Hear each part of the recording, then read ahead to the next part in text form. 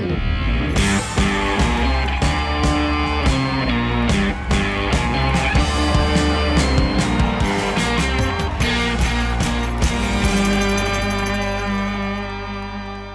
大家好，我是小雨，欢迎来到缤纷娱乐秀，很高兴能够在这里和大家见面。我们会每天准时的给各位带来最新的娱乐资讯，缤纷娱乐现在开售。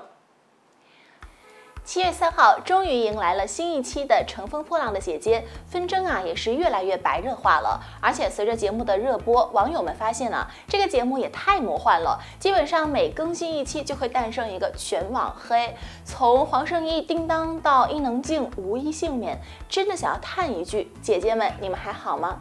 那么这一次呢，又是谁接棒了呢？队长称呼爱好者叮当。这期节目一开始啊，便采取了十分残忍的分组模式。首先，自我推荐的八位队长，然后呢，彼此去互选成团。对于队长的话，每位姐姐都有各自的理解。万茜说的是，啊，能够带领整个队伍一起往前走。那么郁可唯认为呢，只要有控场能力和气场就可以。那么吴昕则认为是，啊，要有号召力，能够让所有的队员都听自己的。而他本人呢，也是很有自知之明。的知道自己暂时没有担任队长的能力，只能够选择跟随，所以呢，就先把自己的部分给做好。所以当宁静、黄圣依、张雨绮这些姐姐站出来当队长的时候，大家并不觉得有多么的稀奇。毕竟她们虽然有的评价一般，但是在往期的节目当中啊，都是比较的强势的，渴望话语权。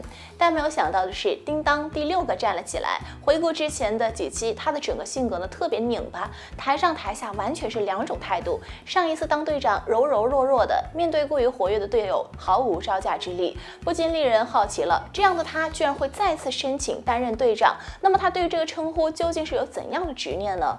也正是有了这些前车之鉴，到了第一轮姐姐选队长环节的时候，大家都是一脸的尴尬。你看看我，我看看你，就是不愿意接这个。茬儿，直到最后的一秒，金莎才站了起来，选择了叮当，还客套道说：“终于可以和你碰到了。”而第二轮选择环节，剩下的几位姐姐啊更是冷漠了，就连几乎每轮必战的张萌也老老实实的坐着，白冰啊还双手叉腰，一副看戏的模样。于是根据节目的规则，本轮轮空了，但这可能就是特别的缘分吧。最后无奈被选进了叮当队伍的选手正是白冰，姐妹情深信奉者白冰。白冰可能没有想到自己开局的一句感慨，竟然会一语成千。真要被选剩下的话，那也蛮可怜的。这是他说的。其实他被留选的还是挺可惜的，在他看来呢，大碗宽面组已经有了很深厚的友谊。说我就以为蓝莹莹那一组他可能会选我，所以在第一轮选择的时候，他看到了黄龄站了起来，就没有去争抢。他认为到了下一轮呢，自然就是他了。但是怎知啊，当场上有他和吴昕一起站起来的时候，蓝莹莹和黄龄讨论了几句，直接选择了吴昕。当时白冰的表情就变了，他没有想到自己会遭遇到抛弃。瞬间就感受到了无比的失望。在后期采访的时候，他表示：“我一直都觉得姐妹们的感情挖得非常的好，所以可能我就把它当成了一个情感的节目。”随后他自嘲的笑了。但今天的比赛呢，还让我觉得它就是一个比赛。最后的结果便是他和张萌成为了唯二剩下的选手。当黄圣依选择了张萌的时候，他便只能够自动的分到叮当组了。到了训练随堂测验的时候，能够明显的发现他与上一期的样子完全不同。之前的他以为自己有了一。群新的伙伴和大家闹着笑着，但是这一次啊，他有了克制，再也没有当初的大笑，反而变回了温婉的玉树，乖巧的做好了自己，精致的利己主义者蓝莹莹。蓝莹莹啊，其实在刚开始的时候，观众们对她都抱有很大的期待，毕竟呢，初舞台就是第一名，第二轮所在的得不到的爱情也在对决当中胜利了。但是没有想到的是，到了最新一期的时候，她身上的那种生命力却成为了网友口中的利己主义者。在面对于白冰这个前。队友和吴昕同时站起来选择自己的队伍的时候，她和黄龄一起选择了吴昕。即使后来在采访的时候解释，是因为她以为吴昕两次都支持了自己，但是呢，他还是表示，既然选择了，就不会后悔。不少网友表示，他们选择吴昕啊，其实就是因为对方的路人缘比较好，会更加的有利于赢得比赛。互选这一环节还算说得过去吧，毕竟呢大家都想赢嘛。其他那些不选择黄圣依啊、叮当啊，都是一样的想法。而在团队选歌的时候，蓝莹莹就只和黄龄商量，就直接定好了方向了。吴昕当时呢也是一脸懵逼，虽然想来呢这个组，但是从来都没有想过就这样被选择在了自己不会的东西。后来啊，在讨论歌曲分配的时候，蓝莹莹的做法直接惹怒了网友。众所周知，她和黄龄的关系特别好，都会玩乐器、玩音乐，曾经还在宿舍里边一起唱哭了白冰呢。所以为了能够给自己增加一些亮点，他无视吴昕不会乐器的情况，表示想要和黄龄表演乐器。导师对于这种不平衡的分配方式直接予以了拒绝，但是他仍然不死心，又表示可以让吴昕学习贝斯啊，十天之内学会就可以了呀。当时黄龄就表示不可能，即使是他这样学过贝斯的人，许久不碰了也不会弹了，更何况是吴昕这样一个新手呢？可是他就是觉得一定要做到最好，将自己的想法强加给别人。他说我相信我可以达到，那么欣欣姐也一定可以达到。这种态度啊，直接让吴昕崩溃大哭，还自卑到认为是自己拖累了他们。好在导师们坚决反对，才让他彻底放弃了玩乐器的想法。而他呀，好不容易积攒的粉丝滤镜也因此破碎了。控制型人格伊能静，伊能静在每一期都真的很有自己独特的亮点，即使是不当队长了，也还是放不下自己的控制型人格。在第一轮选择的时候，其实他明明想要选择宁静的，结果因为站起来的人太多了，就再次重演了之前的剧情，表示同宿舍过了啊，我让给他们就好了。而且他还跟王丽坤说：“你别再唱歌了，宝宝，在三人组唱歌要累死。”网友是直接黑人问号脸，不唱歌，那你参加什么女团呀？而且人家王丽坤之前可是被赵照老师夸进步很大的，倒是他自己呢唱的确实一般。到了队伍练歌的环节呢，伊能静继续施展自己的控制欲，一开始啊就当起了领导，让大家一起跟着伴奏带一遍。分配歌词的时候也基本是他来控制的，直接安排了谁唱哪个部分，哎，还不忘再次的重申自己就是音乐担当。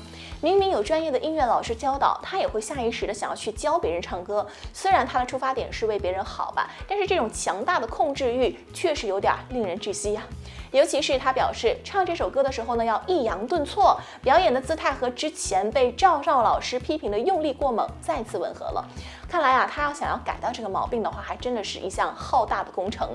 真香定律保持者宁静，宁静虽然是节目当中年纪稍长、看上去很强势的人，但实际上啊，他十分的好相处，而且还有点小拧巴。宁静虽然是节目当中年纪稍大、看上去很强势的人，但实际上他十分的好相处，还有点小拧巴。之前说好的不跳舞也不想突破，结果呢是一次又一次的上演大型真香现场。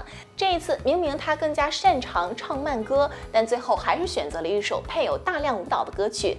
到了训练的时候，他因为很多动作记不起来，总是拖队友的后腿。为了能够及时的跟上他们，就一遍一遍的不停的练习。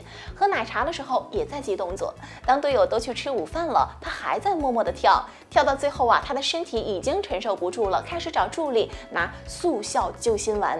不得不说呀，虽然宁静姐姐是真香定律保持者，但是这一份努力和坚持啊，真的是值得大家去学习的。最后考核的时候，即使被老师批评，他也没有反驳，直接的承认了自己的错误，并且表示正式公演的时候绝对不会这样的随意更改动作。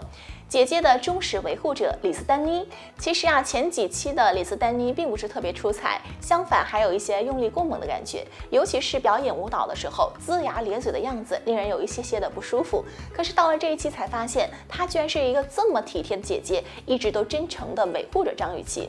在第一轮初选的时候，她其实特别想要选张雨绮的，但是还是希望能够为对方先争取别的队友，所以呢，她就一直都在挣扎，等着别人先站起来。可以看到，当黄晓明念到一的时候，他就已经有想要站出来的冲动了。还好这个王丽坤站了出来，让张雨绮避免了空轮的可能性。而且在整场选人期间，他都没有选择过其他的姐姐。最后呢，也是如愿的进入到了张雨绮小组。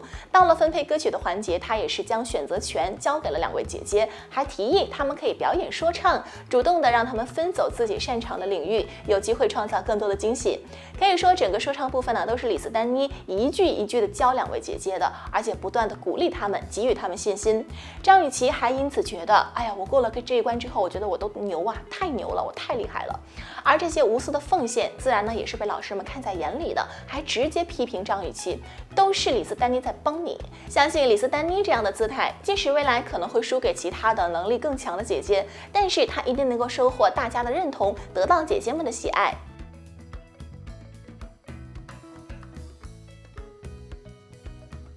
吃瓜不断，娱乐不停，感谢大家关注缤纷娱乐秀。如果你喜欢我们的频道，那么请给出您宝贵的赞，并且记得订阅我们的同时，不要忘记了点亮订阅右边的小铃铛，这样你就可以在第一时间收到我们的频道内容啦。我们下期节目再见，拜拜。